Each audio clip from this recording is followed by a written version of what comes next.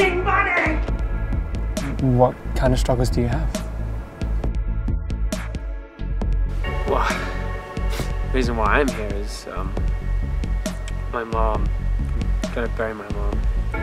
You fucking killed me, Annette! I'm fucking dead!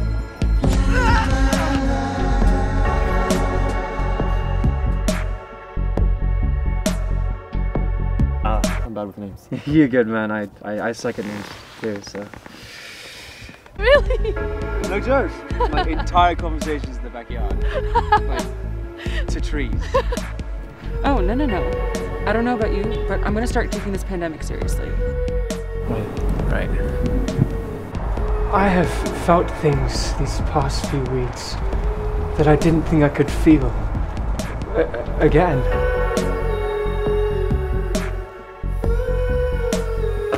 After seven months, you now choose to take it seriously? Yes. So what? You're just not gonna kiss me? Like ever? Not until I give you a health screening. We've gone down different paths for so long.